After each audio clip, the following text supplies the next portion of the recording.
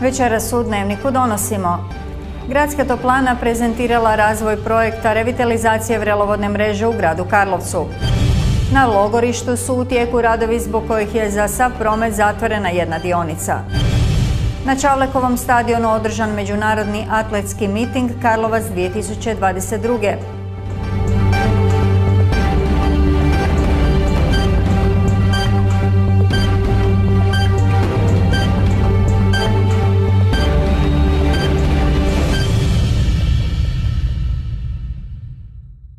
Poštovani gledatelji, dobro vam večer. Na logorištu su u tijeku radovi zbog kojih je za sav promet zatvorena jedna dionica. Više o radovima kazala nam je direktorica vodovoda i kanalizacije Katarina Malenica. Stanovnici dijela logorišta imat će za mjesec dana kvalitetniju vodoopskrbu, a učestala puknuća u tom dijelu postaće prošlost. Vodovod i kanalizacija naime obnavlja 140 metara vodoopskrbnog cjevovoda i priključke za kućanstva, a direktorica Katarina Malenica kaže da je ovo dio velikih vikovih investicija i to mimo aglomeracije, vrijednih 9 milijuna kuna. Ovdje će se izmijeniti oko 140 metara vodoopskrbne mreže, a vrijednost ovih radova je 325 tisuća kuna i radovi bi trebali biti gotovi u roku 30 dana. E, izvođač radova je tvrtka Niskogradnja iz Karlovca. Vik na obnovi mreže radi i u ostalim dijelovima grada, ponajprije na kritičnim lokacijama, kako bi smanjio gubitke vode. U nekim ulicama uz vodoopskrbu bit će izmijenjena i kanalizacijska mreža. E, I to će se raditi radovi u naseljima Brajakovo brdo, Belejske poljice, e, Mejaški pogačići, Mala Jelsa, e, Fanjki vojaki, Turanski goljaki i ići ćemo zajedno u projekt e, izmjene vode i kanalizacije u naselju Marka Marulića zajedno sa gradom Karlovcem. Također ćemo ugraditi novu crpnu stanicu Goljaki za područje Draganića. Do kraja ove godine tvrtka će uložiti 9 milijuna kuna u rekonstrukciju vodoopskrbne mreže i tu će se izmijeniti 4 km i to je samo od novca vodovoda i kanalizacije. Sve to nevezano je za projekt aglomeracije Karlovac Dugaresa vrijedan 460 milijuna kuna. Revitalizacija vrelovodne mreže u gradu Karlovcu bila je tema današnje konferencije za medije koju je održala Gradska toplana. Detalje donosi Ljiljana Zoroja.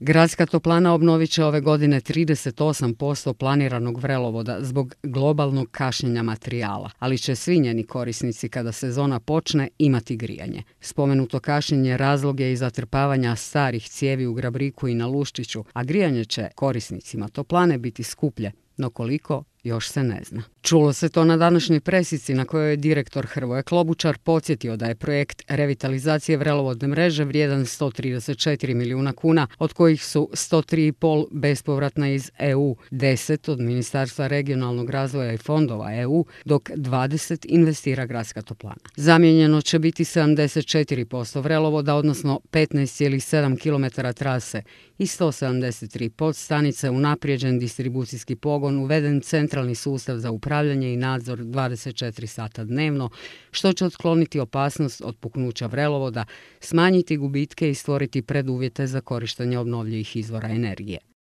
Dakle, rade dvije grupe izvođača, grupa dva koja radi onaj dio tamo Rakovac i Sarajevsku, E, oni će ove godine, e, ako sve bude kako treba završiti e, Rakovac do kraja, znači negdje od pothodnika tamo skroz do kraja grane Rakovac i Sarajevsku isto tako od pothodnika do kraja. Iduće godine ostaće im dio od toplane do pothodnika i od pothodnika do zvijezde, Tomislavovom ulicom.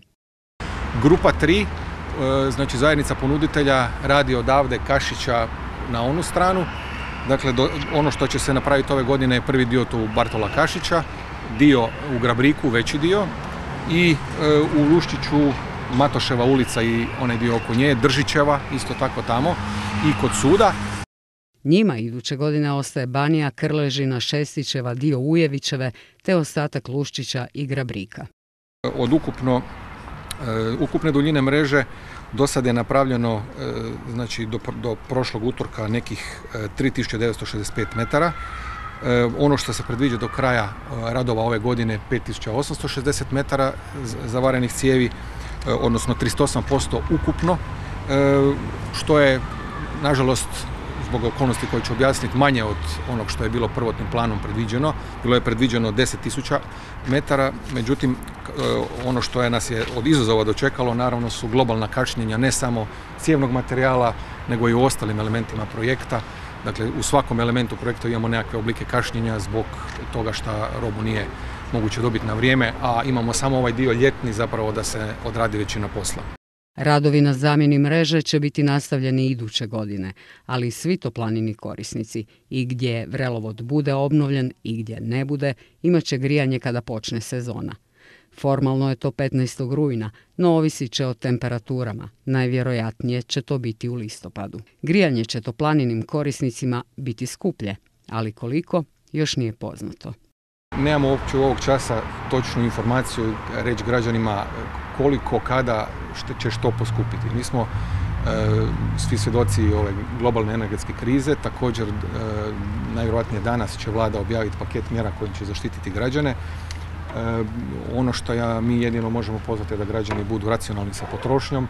Dakle, jedan dio građana je već obnovio zgrade, evo vidimo tu oko nas, imaju nove fasade, vanjske stolarije, što bitno smanjuje račune i to će im se sada još više vratiti kad e, znači, krene ova sezona. Dakle, mi ćemo obavijestiti či budemo preciznije znali što će poskupiti, kada i za koliko. Odgovarajući na pitanje o zatrpavanju starih cijevi u Grabriku, Klobučar je rekao da je razlog kašnjenje materijala, odnosno što nove naručene cijevi nisu stigle. Izvođač radova stoga je iskope zatrpao, neće naplatiti dvostruki posao, već, kako je njihov predstavnik pojasnio, to će rješavati s dobavljačem koji nije ispunio dogovoreno. Isto se dogodilo i na Luščiću u Hebrangovoj ulici. Opet vezano za e, ovo kašnjenje materijala, izvođači su prema svom e, planu radova otvorili e, trase tamo gdje su, znači neposredno prije nego što su očekivali da će cijevi doći, cijevi užasno kasne zbog svih ovih promjena i nakon nekog vremena su zaključili da to nema smisla. Znači čeka se, bit će, bit će, bit će, nije došlo i nakon toga su zatvorili to. Nakon tragičnog slučaja kod autobusnog kolodvora rečeno je gradilište je bilo privremeno zatvoreno, sada je ponovno otvoreno, a postavljena su dodatna dva kilometra čvrste ograde na gradilištima, iako je i ona signalna zadvoljavala propise. Zelena površina kod teniskog postaje privremeni deponi građevinskog materijala i strojeva za aglomeraciju u Zvijezdi. U gradu Karlovcu smo provjerili kako je do toga došlo. Pokraj jednog od omiljenih šetališta Karlovčana sada će se nalaziti odlagalište građevinskog materijala koji koristi tvrtka koja je izvođač radova za aglomeraciju u Zvijezdi. Tvrtka GIP Pionir e, Zagreb e, je izvođač radova po ugovoru broj 4 aglomeracija Karlovac, Karlovac Zvijezda. Podnijela je 19.7.2022. E, godine zahtjev za korištenje zemljišta u vlasništvu grada Karlovca na katastarskoj čestici 961 kroz 2 katastarske općine Karlovac 2 u svrhu odlaganja građevinskog materijala i parkiranja građevinskih vozila. Na rok od 16.8.2022. godine do 30.4.2025. godine. Upravni odjel za komunalno gospodarstvo grada Karlovca odobrio je zahtjev ne dovodeći u pitanje je li ovaj prostor prikladan za odlaganje otpada i parkiranje kamiona. Upravni odjel za komunalno gospodarstvo izdao je 19.7.2022. godine traženo odobrenje pod nazivom Posebni uvjeti iz područja prometa, privremeno deponiranje građevinskog materijala uz obvezu da isto, isto to područje zemljište bude vraćeno u prvobitno stanje. E, Suinvestitor je grad Karlovac, a nositelj investicije aglomeracije Karlovac je vodovod i kanalizacija Karlovac, e, koja je temeljem članka stavka 5 odluke o davanju u zakup na privremeno korištenje javnih površina i zemljišta u vlasništvu grada Karlovca e, oslobađa plaćanja zakupnine. Tako će izvođač radova moći koristiti zemljište do 2025. godine i to besplatno. Jedini uvjet je da zemljište dovedu u stanje u kakvom je bilo prije no što su ga počeli koristiti kao deponi građevinskog materijala. U gradu smatraju kako je ovo zemljište prikladno za odlagalište otpada. Iz ovog kuta, znači građevinskog obuhvata koji će biti neposrednoj blizini, daje jednu uh, upravo dobru uh, soluciju, odnosno rješenje gdje uh, građevinski strojevi neće prolaziti kroz sami grad koji će biti biti tako i tako u obuhvatu građevinskih radova posebno opterećen, nego će biti praktično riješeno komunikacijski i prometno između gradilišta i samog parkiranja građevinskih strojeva. Znači, kroz sami ruski put će se voziti kamioni koji će prilaziti tom gradilištu. Pa to je građevinski materijal koji se koristi u svrhu građevina, odnosno koji će biti ulagan u samo područje gradilišta, a kako smo rekli, znači u tom roku koji je 34.2025. godine, to područje treba biti vraćeno u prvobitno stanje. Gradonačelnik Damir Mandić sa suradnicima obišao je radove na stadionu Branko Čavlović-Čavlek. Ukupna vrijednost ugovorenih radova je 3 milijuna 536 tisuća 840 kuna. Radovi su podijeljeni u sedam grupa i nabavu opreme, a većina je u završnoj fazi. U lipnju ove godine gradu Karlovcu su istekli ugovori za isporuku električne energije i plina. Proveli su javnu nabavu i sklopili ugovore za električnu energiju na tri, a za plin na dvije godine. Čak šest puta skuplja struja i četiri puta skuplji plin postali su gorka realnost. Grad je ugovorio fiksnu cijenu i okvirni sporazum. Sve je na stolu. I javna rasvjeta i broj košnji u konačnici. E, odvoz otpada ne smije biti u pitanju, vodoopskrba ne smije biti u pitanju. E, određeni projekti koje imamo u konačnici i u planu su isto tako mogu doći mogu doći u pitanje, može se od njih odustajati. Učenje u prirodi od sada može biti svakodnevica za mještane turnja. Kod osnovne škole Turanj postavljena je učionica na otvorenom, koju učini desetak klupa, stolova i školska ploča. Učionica na otvorenom nova je atrakcija na turnju za djecu i mlade, koja se nalazi uz osnovnu školu. O postavljanju učionice razmišljalo se dugo, a pandemija koronavirusa dodatno je potaknula školu na ostvarivanje toga. Prednost e, škole Turan je to što stvarno imamo puno zeleni lokolo i prostor gdje smo mogli tako nešto realizirati. E, iskoristila sam prvi moment, a to ovaj, zahvaljujem udrugama, prije svega udruzi Naš Turanj, IKA Matrix, Pan, koji su iskazali želju da smo mi baš ta škola gdje bi oni tako nešto htjeli napraviti. Oni su prvo mislili nekakva sjenica, ali ja sam onda dala prijedlog i slušajući želje mojih učitelja i ispala očionica. Benefit će biti jako puno, jel? Prije svega ovaj, djeca će koliko god će to vremenske mogućnosti omogućavati nam e, moći koristiti i za ovaj, nastavne sadržaje. Učionica će biti na raspolaganju školarcima, ali i ostalim mještanjima turnja. Nama je jako bitno za djecu da imaju e, učionicu vani, da se mogu družiti vani, e, da u slučaju neke opet pandemije, nadam se da toga neće biti, ali da imaju prostor koji mogu koristiti vanjski. I naravno za ostale, ostalu djecu turnja koje ne pohađaju, možda su prošli ovu školu, možda su u srednjoj školi, možda su otišli, da se mogu ovdje doći, doći i podružiti, samo ih uvijek molimo i upozoravamo da čuvaju ovo što smo napravili svojim rukama. Glavni inicijator projekta je udruga K-Matrix, koja kroz projekt suradnjom i praksom do održive zajednice pomaže lokalnim organizacijama na području Karlovačke, Zagrebačke i Sisačko-Moslavačke županije u kriznim situacijama. U Karlovcu će se održati četiri akcije u sklopu projekta. Prva ova je održana ovdje na Turnju uz osnovnu školu, napravljena je cijela učionica e, na otvorenom, desetak e, klupa, e, tri stola, ploča koja može funkcionirati dakle, na otvorenom i eto, dakle, ono, jako smo zadovoljni sa cijelom akcijom, sa provedbom, sa odazivom građana, što iz gradske četvrti, što iz organizacija civilnog društva. Organizatori i suradnici su, zahvaljujući donacijama, pribavili sav potreban materijal, opremu i okrijepu za sudionike akcije. Projekt je financiran europskim sredstvima, a vrijednost je malo veća od 470 tisuća kuna. U Jastrebarskom je izgrađena infrastruktura u dužini od 3,65 km na glavnoj gradskoj prometnici GG1 kao i uređenje rotora na dionici GG1 Jug.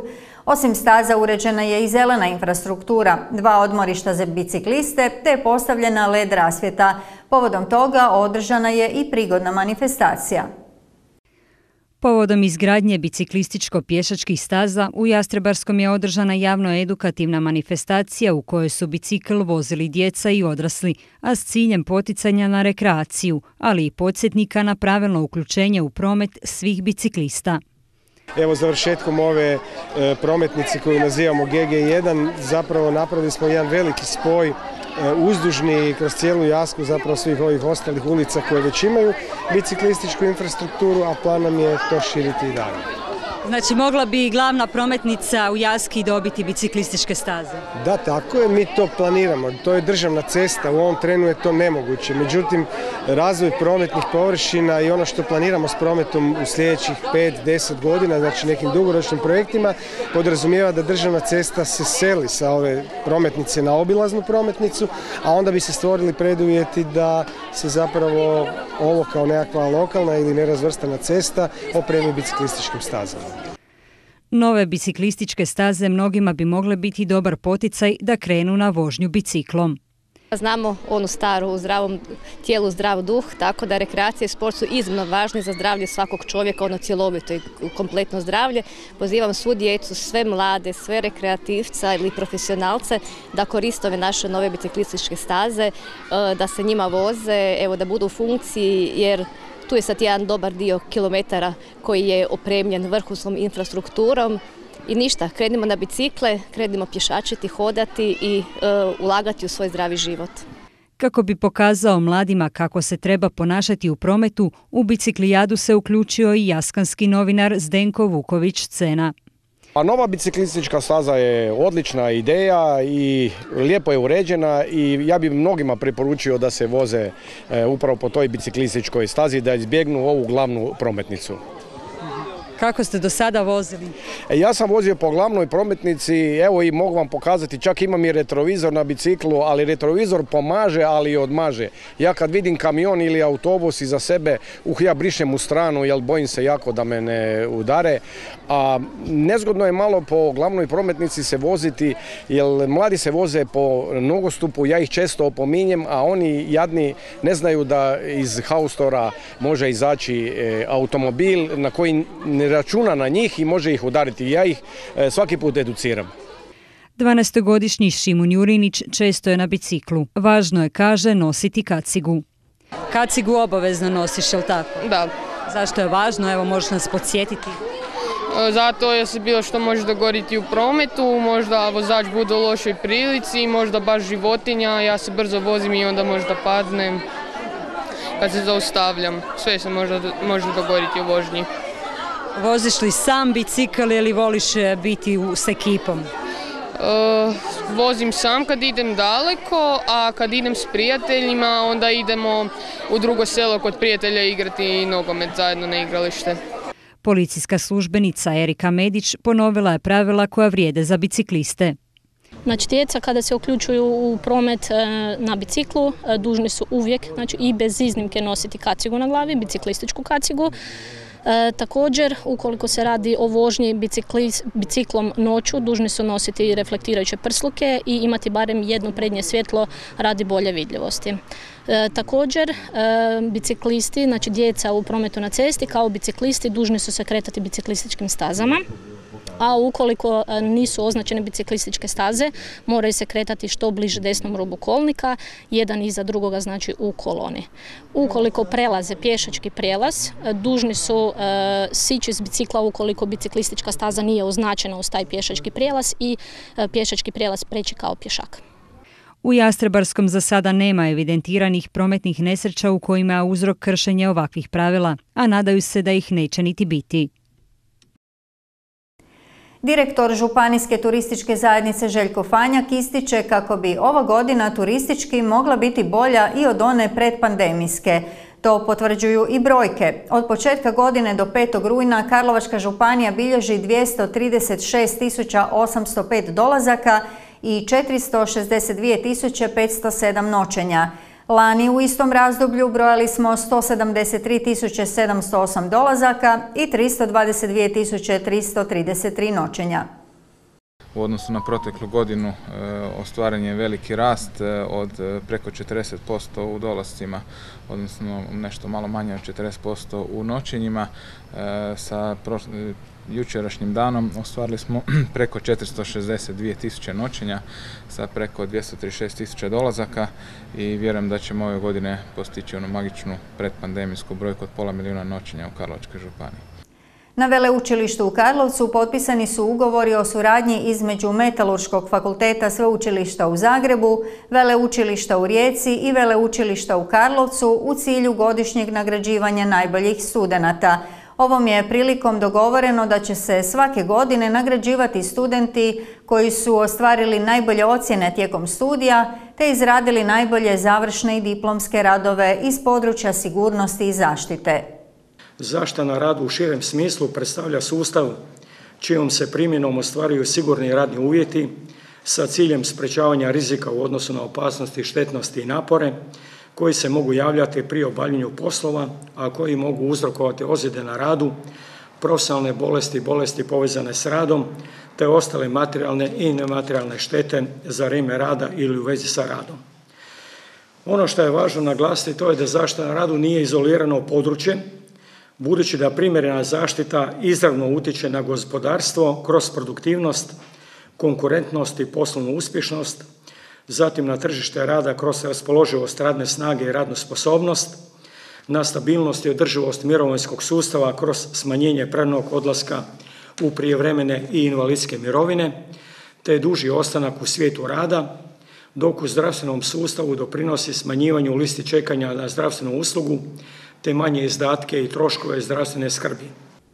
Sedmo izdanje Dok festivala u Kamanju na rasporedu je od sutra do nedjelje. Bogat sadržaj podrazumijeva spoj tradicije i suvremene umjetnosti.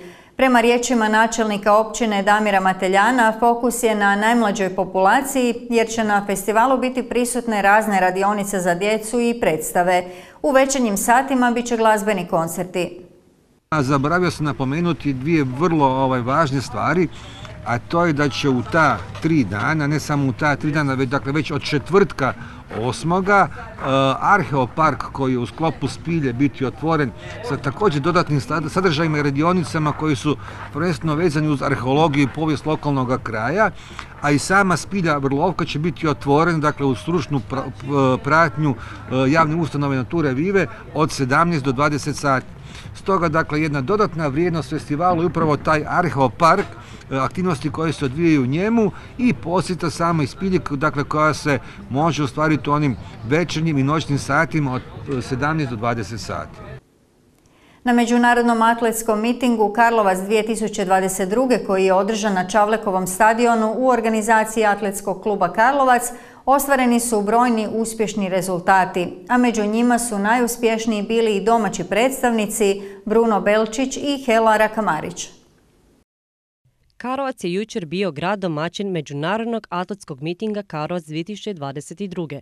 A organizator je Atletski klub Karlovac koji je i ove godine po šest najboljih rezultata po svjetskim atletskim bodovima u ženskoj i muškoj konkurenciji nagradio novčanim nagradama. Na 60 metara u mlađim kadetkinjama u skupini 1 kroz 2 pobjedu je odnijela Petra Fanjek iz Atletskog kluba Karovac, dok je u skupini 2 kroz 2 najbolja bila Petra Bajt, također iz Atletskog kluba Karovac, koja je ujedno i ukupna pobjednica ove discipline. U skoku s motkom kod seniorki se istaknula Laura Juriš iz Atletskog kluba Agram, koja je osvojila prvo mjesto. U utrci na 100 metara kod kadetkinje najbrža je bila Klara Kapac iz Atletskog kluba Dinamo Zrinjevac, a kod muških kadeta Luka Fučko iz istog kluba. U disciplini na 100 metara s preponama kod seniorke najbolja bila Ivana Lončarek iz atletskog kluba Agram. Karovačka predstavnica Lea Novković osvojila je srebro u ovoj disciplini. Na 300 metara u skupini 1 kroz 2 prvo mjesto pripalo je Anji Ramić iz Atletsko-sportskog kluba Split, dok je u skupini 2 kroz 2 najbolja bila Veronika Drljačić iz Atletskog kluba Križevci koja je ujedno i ukupna pobjednica u ovoj disciplini. Kod seniora je u navedenoj disciplini pobjedu odnio Mateo Ružić iz Atletskog kluba Agram.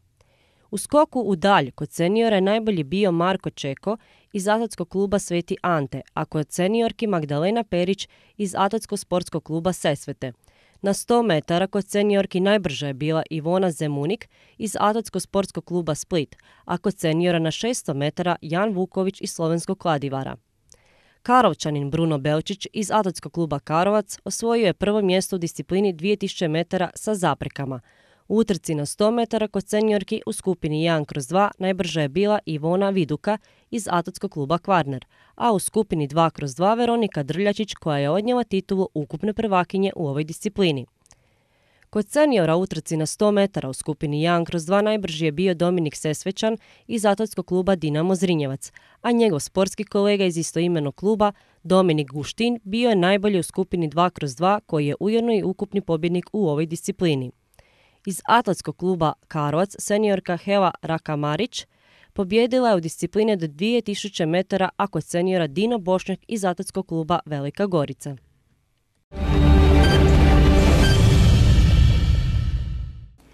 Promjenjivo oblačno povremeno s kišom i pljuskovima s grmljavinom, a osobito na Jadranu pljuskovi mogu biti izraženi i praćeni obilnijom oborinom. Vjetar slab do umjeren, sjeverni i sjeveroistočni. Na Jadranu u prvom dijelu dana većinom umjereno do jako jugo. Poslije podne i jugozapadnjak. Najniža jutarnja temperatura zraka od 14 do 19. Na Jadranu između 19 i 24, a najviša dnevna uglavnom između 22 i 28 stupnjeva.